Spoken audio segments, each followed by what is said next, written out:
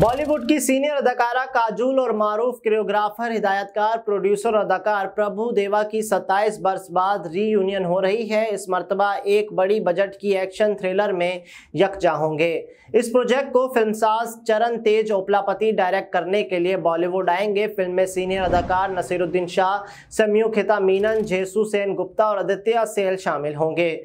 Film की खास बात यह होगी कि काजुल पहली बार किसी फ़िल्म में नसीरुद्दीन शाह के साथ काम करेंगी। वाजे रहे कि प्रभु देवा ज़्यादातर जनूबी भारत की तमिल, तेलुगु और कनाडा फ़िल्म इंडस्ट्री में काम करते हैं। तहम मैसूर में पैदा होने वाले इक्यावन साल प्रभु देवा हिंदी फ़िल्म इंडस्ट्री से भी वाबस्ता हैं।